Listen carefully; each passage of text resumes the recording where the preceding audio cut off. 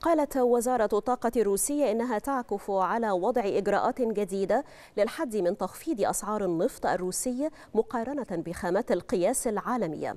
وذلك بعد أن فرض الغرب سقفا للأسعار. وقد وقع الرئيس فلاديمير بوتين الشهر الماضي مرسوما يحظر توريد النفط الخام والمنتجات النفطية اعتبارا من الأول من فبراير لمدة خمسة أشهر للدول التي تلتزم بالسقف السعري. وتبيع روسيا النفط عادة بسعر منخفض عن خامات القياس العالمية مثل خام برنت. وقد زاد هذا الخصم في أعقاب العقوبات الغربية المفروضة على روسيا بسبب العملية الخاصة في أوكرانيا. وتتراوح الآن نسبة الخصم بين 25 و 30 دولارا للبرميل مقابل خام برنت.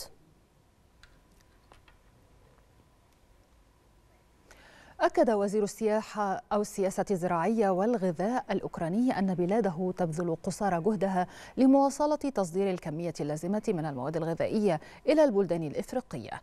وأبدى الوزير الأوكراني استعداد بلاده لزيادة صادراتها من المنتجات الزراعية إلى البلدان الإفريقية.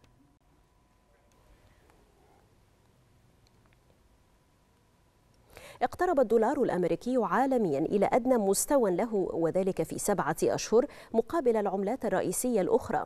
انخفض مؤشر الدولار الذي يقيس أداء العملة الأمريكية أمام سلة من العملات الرئيسية بنسبة 3 من 100 في المئة.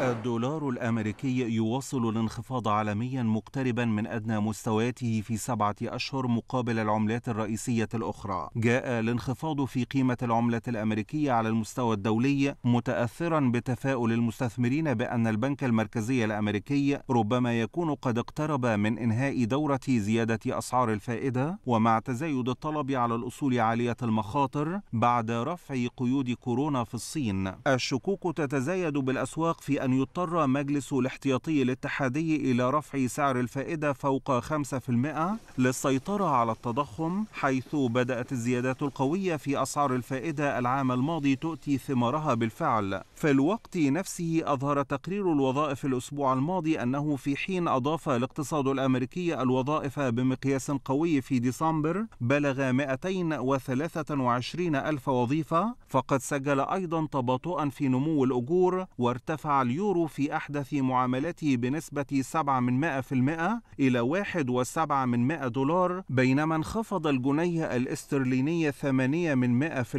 إلى 1.22 من 100 دولار بعدما سجل هو الآخر أعلى مستوى في ثلاثة أسابيع. ومقابل سلة من العملات الرئيسية انخفض مؤشر الدولار الأمريكي بنسبة 3 من 100% إلى 103 نقاط و14 من 100 نقطة بينما تراجع 7 من 10% ليلامس أدنى مستوى في سبعة أشهر عند 192 من 100 نقطة. إعادة فتح الصين السريع لحدودها بعد وقف سياسة صفر كورونا قدمت دفعة أخرى للأصول ذات المخاطر العالية بعيدا عن جاذبية الملاذ الآمن للدولار.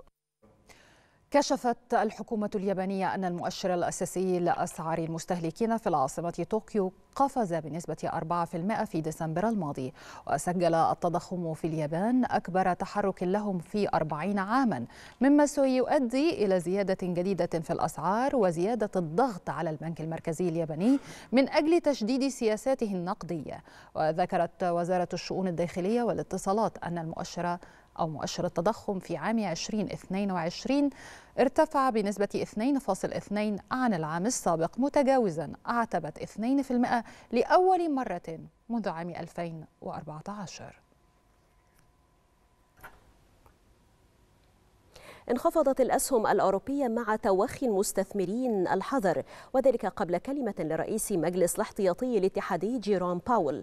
بعدما توقع اثنان من صانعي السياسة النقدية بالبنك المركزي الأمريكي مزيدا من رفع أسعار الفائدة. وقد تراجع المؤشر ستوكس للأسهم الأوروبية بنسبة 7 من 10% بعدما سجل أعلى مستوياته في ثمانية أشهر في الجلسة الماضية. وقد انخفضت أسهم التكنولوجيا التي تتأثر بحركة سعر الفائدة واحدا بالمئة.